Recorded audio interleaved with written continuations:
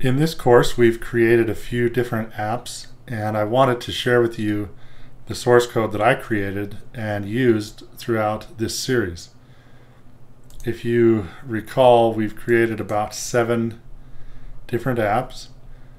Uh, some of these had source code that were available in the original source code folders, but here uh, I've got each one of these projects that I created in these videos and I've made them available. Now the best way to get access to this is through GitHub and you go to in your browser you'll go to github.com slash ibrent and notice the number 3 for the letter E. So it's IBR3NT and that will take you here and from here you can see these repos that I've created and if you want to download the source code, you can select a project.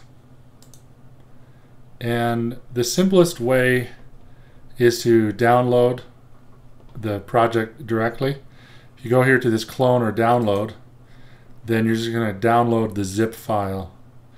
That's the simplest way to do that. If you're familiar with Git and have used GitHub before, you can certainly copy this and download it. So when you download the project, then you'll have a zip file like this and we'll extract it. And from here inside this folder this represents the Xcode project. And so you can double click that and it will launch in Xcode. And then you can review everything that we did.